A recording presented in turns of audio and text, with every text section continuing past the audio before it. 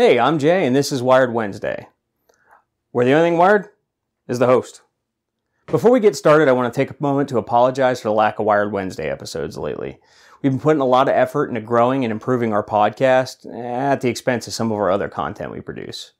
We'll be making an effort to release uh, Wired Wednesday episodes far more frequently. We have a lot of good stuff planned, so if you're looking to entertain that geeky side of you, be sure to keep an eye on our channel.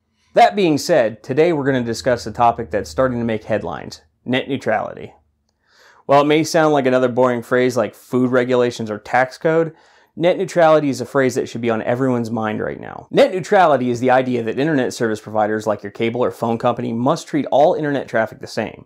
For example, streaming video from Netflix must be given the same priority as content from YouTube or that cat picture that grandma sent you on Facebook. It also means that an ISP can't prioritize traffic to and from one of their own services over everyone else. So Comcast, who owns NBC, can't disable access to or slow down video from Fox or ABC to give their content an edge. Verizon can't just disable access to Sprint or T-Mobile's websites to discourage their customers from researching new cellular deals. In fact, there's an image made by a Reddit user named Quink that's been making its rounds on social media that does a great job of showing exactly what we could see if net neutrality is done away with. Rather than paying a flat fee for access to the entire internet and all online services, we could be looking at something more akin to a traditional tiered television package, with a basic subscription offering access to just a few websites, with other content and services locked behind premium tiers and add on packages. As the growing cord cutting trend illustrates, this doesn't work for TV and it certainly won't work for the internet. On the other hand, losing net neutrality will make it difficult for small players in the internet realm to compete on a level playing field with giants like Facebook and Google. As it is right now, anyone with an idea and the talent to do so can create something and put it up on the web for their audience, whether that's a podcast, a web series, music, or even a new service or social media platform. In 2014, Netflix and Comcast got into a rather vocal argument about this very situation. Netflix use was starting to pick up, although they hadn't quite reached their uh, binge watching peak that they're at now. Comcast decided that they should be compensated for the heavy traffic streaming video generated. Netflix didn't feel like they should have to pay Comcast for an internet fast lane of sorts. As the debate heated up, Netflix claimed that since their disagreement started, customers' streaming speeds had dropped by 27%. The implication being that Comcast was intentionally slowing Netflix traffic down to force them into paying up. Eventually, Netflix relented and entered into a paid peering agreement that allowed them to tap into Comcast network directly, for a fee, of course. You may find yourself asking, well, why shouldn't Comcast get to do what they want with their network, especially if it's generating a lot of traffic, like Netflix? And while this argument sounds completely reasonable on the surface, it's much more complicated than that.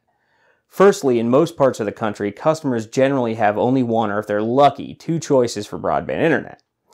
Going back to our Netflix example, that means that Comcast would have been able to slow that traffic down to act as a bargaining chip, knowing that the vast majority of their customers had no choice but to continue using them for their internet access rather than moving to some competitor who wasn't manipulating traffic.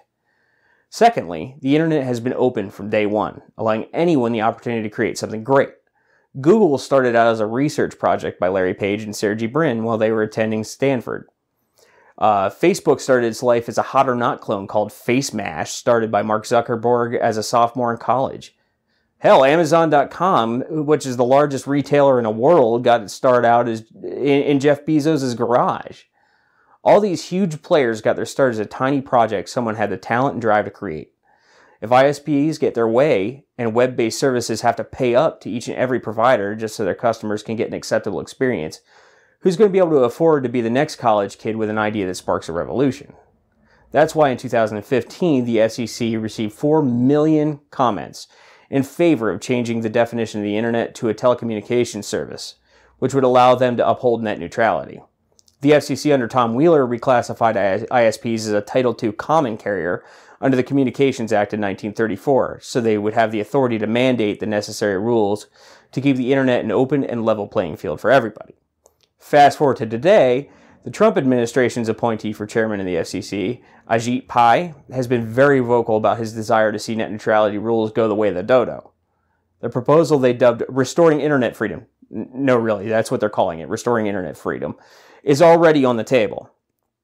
Regardless of your party affiliation or political viewpoint, if you use the internet on a daily basis, net neutrality should be important to you. Despite having a name as, ex- as exciting as Dreyerlint, the fact is that strong net neutrality rules are the only things that allow small content creators like us to be able to do what we do and not get brushed aside by the big guys, or allow that smart college kid to go and create the next Facebook in their dorm room. If you believe that, then take a few minutes to let the FCC know. They're taking public comments right now on their proposal to dismantle the free and open internet. If you go to the FCC's webpage uh, on the proposal, you can see a small plus express link to submit a comment. Now we have it posted up over there showing you where that link is. Well, and we'll also put the link in the video description below. Last time they received a few million comments in support of net neutrality, the FCC created the rules.